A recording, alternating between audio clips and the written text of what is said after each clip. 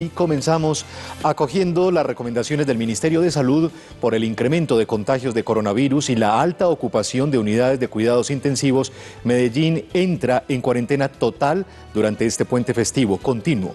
Les contamos cómo será el horario para que lo tenga muy presente, pues hubo modificaciones después de la reunión de esta mañana.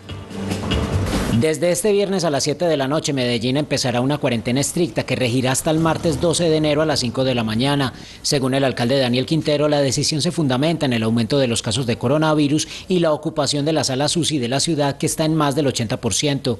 Las excepciones autorizadas por la gobernación de Antioquia seguirán vigentes en este periodo. Precisamente en la ciudad, en el último informe de contagios, se registraron 1.365 nuevos casos de los 2.390 reportados en Antioquia.